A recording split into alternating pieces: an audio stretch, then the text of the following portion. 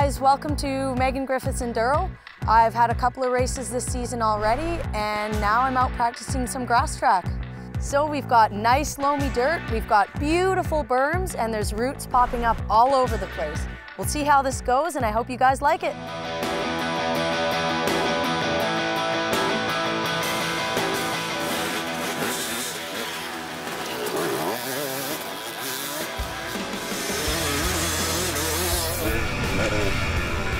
Yeah.